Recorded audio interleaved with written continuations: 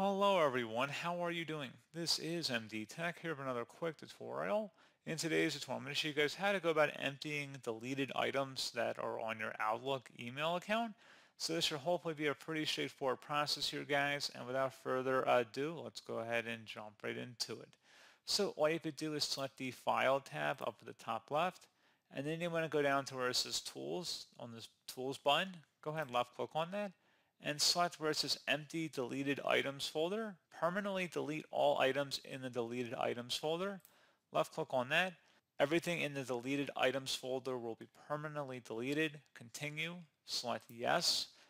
And then once you're done with that, you should be good to go. So pretty straightforward process, guys. And as always, thank you for watching. I do hope I was able to help you out, and I do look forward to catching you all in the next tutorial. Goodbye.